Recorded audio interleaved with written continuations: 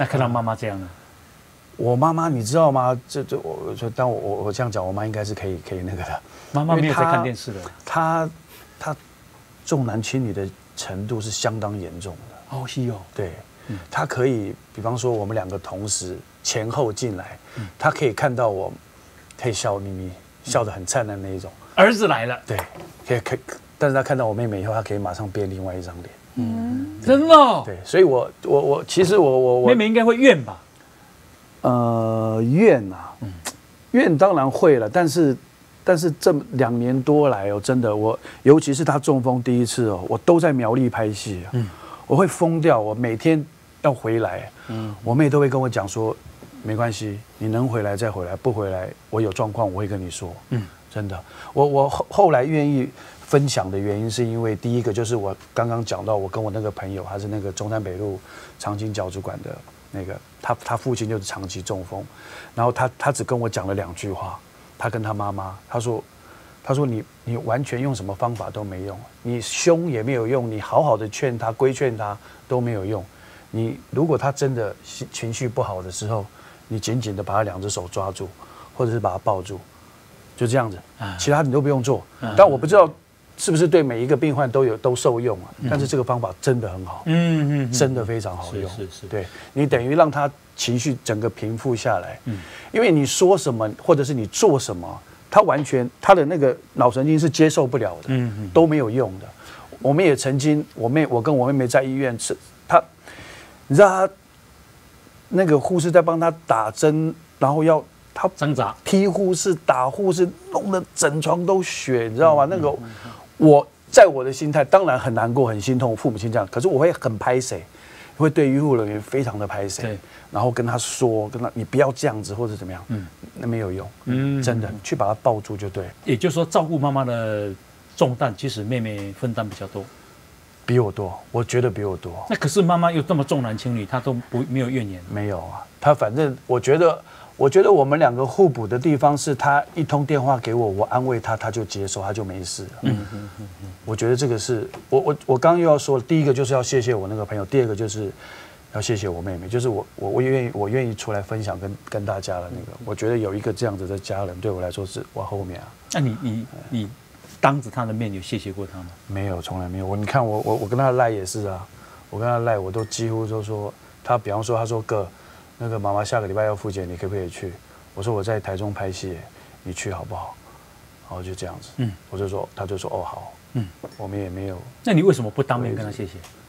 因为我一直觉得我一直觉得他跟我一样，也不是当面说谢谢，毕竟我是哥哥啊，嗯就是哥哥就不能谢谢？也不是说不能谢谢啊，我都没有去，我都用我都用我我都用吧动作动作去，我都用动作去 去那个。我一直到联合报来访问我，我才我才我才惊觉说也不是惊觉，因为我要去联合报，联合报是今年访问我，变成我要去把这个过程通通回想一遍，通通再重复全部述叙述一遍，然后那个最后结束的时候，他问我说：“你这这两年多来，你你有没有什么话想说？”我才惊觉，我从来没有写过我妹妹。嗯嗯嗯，所以现在透过电视，对，我那天有说，联合报那天有说了对。是是，因为因为这这一路走来，我不骗你，你拍戏的人你们也知道也清楚，对，动不动就中南部，尤其现在大爱的戏几乎都到中南部去拍，去一去就是要十天半个月，很少回来。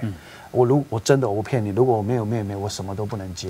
嗯。其实可以了解他的心情啊，因为其实，在我们看到的案例里面啊，越折磨的反而真的就是越孝顺的孩子，嗯哼，就是那个心情上对他的压力其实是最大的，真的。因为他看到自己深爱的家人变成那个样子，而他又没有办法直接的去照顾他，比方说像建明的状况，需要妹妹去协助，对他来讲，其实心里的那个纠葛是牵扯是很大的，嗯。而且甚至会有很强的有一天有一天下大雨，知道嗯吗？他他前一天就问我说：“哥，明天复检，如果你不能来的话，我带妈妈去。”嗯那因为我妈妈她不能，她只能坐在轮椅上，她完全没办法自己走了。但她手的活动力还可以，可是就是一定要，一定就是要坐在轮椅上。结果那一天通告取消，因为下大雨，那我就去。我想说，那我就去好了，因为是我知道时间嘛，我就去。我一去的，车停好以后，他那他那个安养中心是旧公寓，但是有电梯，有电梯。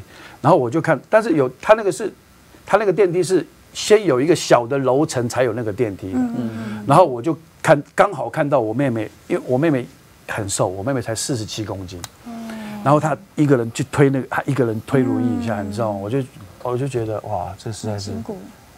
是，赞。其实她小时候奶都被你喝光了。没有，我对她很好啦。诶，这个为什么说，诶，医院要你们出院的时候，才是你最茫然的时候？对，因为呃，我后来跟我妹妹讨论了，因为那一段时间发生一件很严重的事情，就是什么看护她都没办法接受，嗯，不管是台湾的，然后请外籍的请外籍的，嗯她都没办法接受为什么。呃，我我不知道是因为是因为什么缘故，他就是他就是不让人家碰她，嗯，她就是不让任何人碰他。有很多这种的病人，对，对，那个那个我我我一直到一直到后来确定这个安养中心以后，我才把我认识的看护的电话删掉。嗯，因为因为我都会打电话拜他们说，你你你再忍耐一下，等我找到。等我找到，不行啊！你你妈妈实在是怎么样怎么样怎么样？你妈不让外人碰她。对，就不让外人碰她。哦，对啊，那呃，这个政府的资源提供的如何？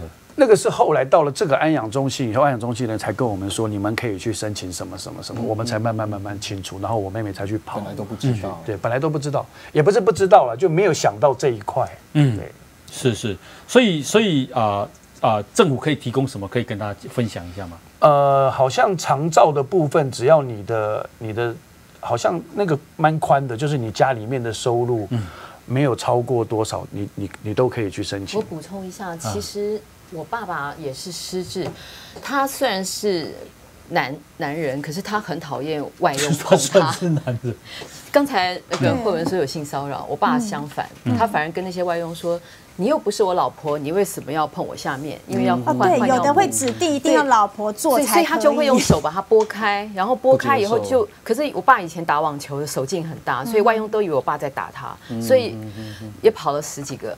所以那个时候呢，我们有青黄不接的时候嘛，如果一定要用合法的话，所以我们就用了长照。是长照我们家的收入也不是说符合低收入户啦，可是只要评估是重度的，他就会给你大概最高一个月大概到九十八个小时。嗯那当时我们在青黄不接的时候，我们是用这样的方式，比方说早上一个两个小时，然后下午一个两个小时，就是在弥补，就是请不到衔接的外佣的一个时段空窗期。嗯嗯，所以为了找喘息照对顾。对，对，你为了找安养中心，你有找很多家吗？好几家，哎，好几家。那哎，呃，板桥有两家，然后新店一家，后来最后这总共五家，第五家，现在这个第五家。是那为什么要找那么多家？呃，因为我自己对环境有一点点的要求，但我就希望我妈妈就不要，因为老实说，有的安养中心灰灰暗暗的，然后霉味很重，对，所以我我就是跟我妹妹还蛮，那那那个是呃。更新医院的人介绍我们说那边有一家还不错，你们可以去看看。嗯，然后我一去，哎，真的还还蛮好的。对，嗯很少很少很少安养中心可以这样子，采光也哦，OK，更新的吗？对对对对对哦更新是做的很久，采光采光也蛮好的，然后整个环境的都维护的蛮好的。